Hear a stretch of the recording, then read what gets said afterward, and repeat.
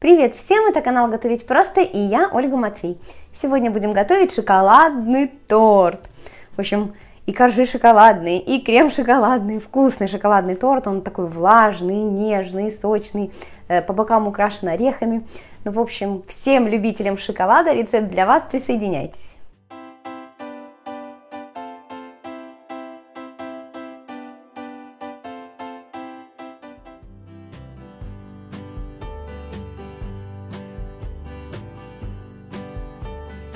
Если вы хотите получать уведомления о всех моих новых видео после того, как они только вышли, нажмите на колокольчик возле кнопки «Подписка».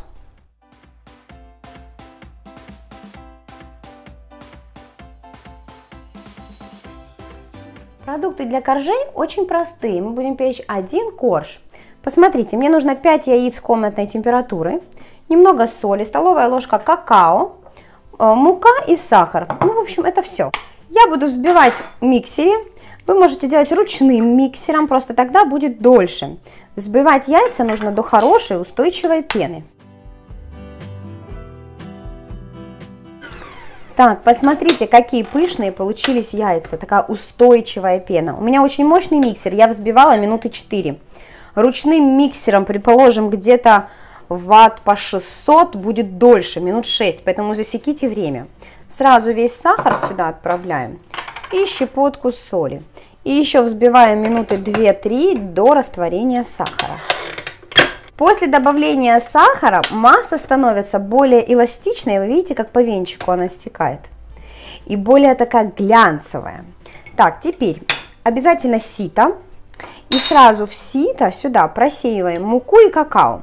Значит, ваниль я не добавляю, потому что шоколадный торт и как по мне, шоколад, ну, так знаете, он будет перебивать ваниль. Поэтому просеиваем муку с какао.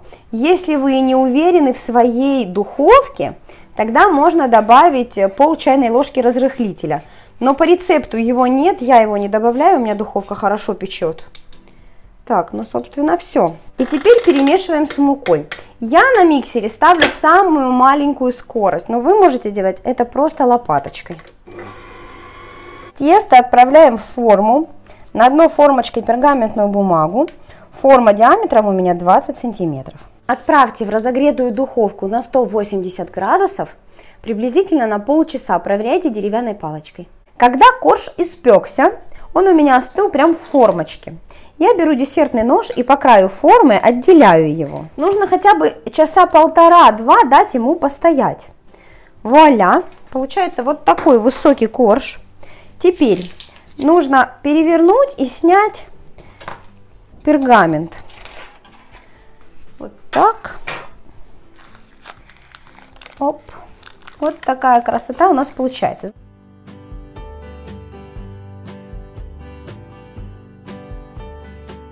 Сделаем пропитку. Значит, возьмем кастрюльку с плотным дном. Э, нам нужно, вот видите, два стакана одинаковых у меня. Беру один стакан сахара. Если у вас другие стаканы, это не важно. Значит, чтобы главное было, они одинаковые были. Один стакан сахара и один стакан вина у меня. У меня просто обычное домашнее вино. Можно взять покупное, можно взять коньяк, ром. Если вы без спиртного хотите делать, тогда возьмите обычный сок, подогрейте его и пропитайте коржи. Так, где моя ложка? Но я что буду делать? Очень вкусно со спиртным. Э, вот сахар э, со спиртным я буду выпаривать на среднем огне, чтобы получилась такая немножко вязковатая э, структура пропитки. Оно, знаете, спирт весь выпарится и останется только вкус. Крышкой накрывать не нужно, потому что должен выпариваться весь спирт. Значит, я его особо не мешаю. Вот так вот сейчас, чтобы сахар растворился и все. Можно сладкой водой пропитать, те же самые пропорции с водой, да. Закипятить, сделать такую густоватую смесь сахарную и пропитать. Это уже как хотите. Сок берите любой для пропитки, если делаете детям. Какой я предлагаю сделать крем? Ну, во-первых, обязательно должна быть вареная сгущенка. У меня 200 грамм масла и 200 грамм вареной сгущенки. Но чтобы этот крем был на вид шоколадный и по вкусу был как с шоколадом, я добавлю какао. Значит, как я делаю? Масло я буду взбивать в миксере отдельно. Оно должно быть э, такое, знаете, уже мягкое, подтаявшее.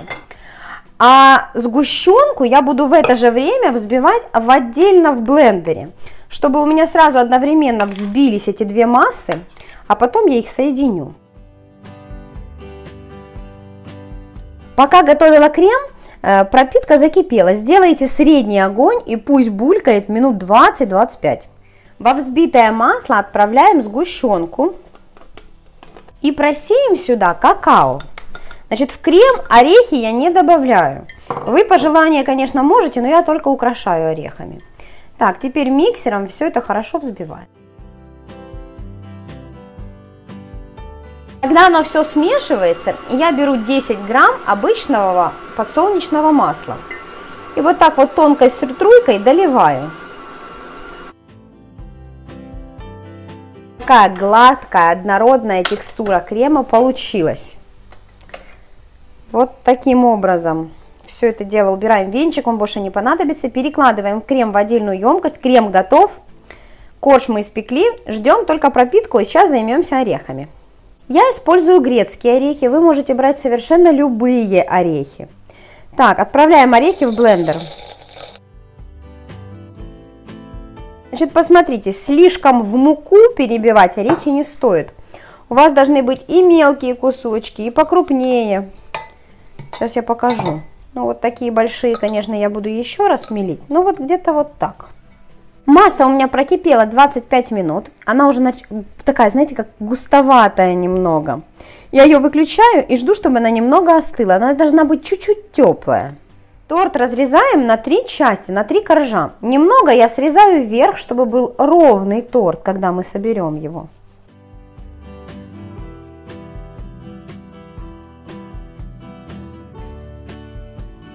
Так, вот такой получается внутри. Посмотрите.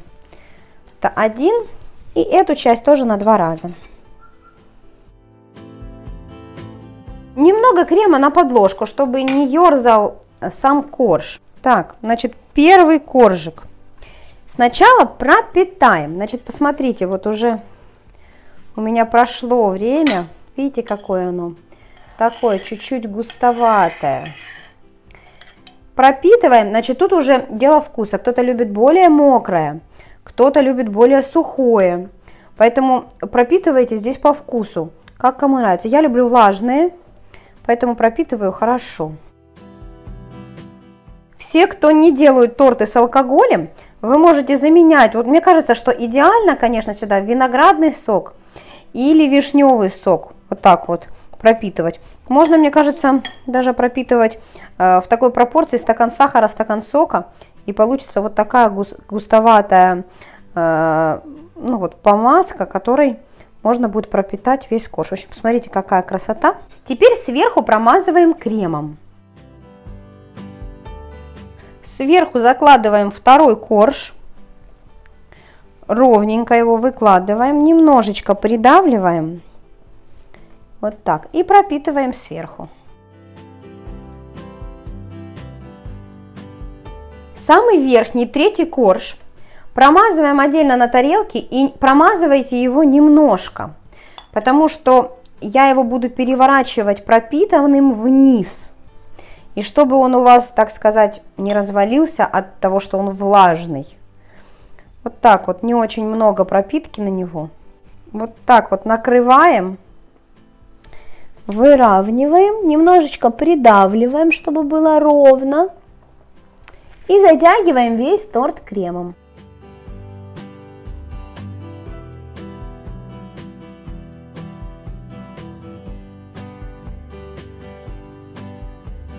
Присыпаем тот, торт орехами.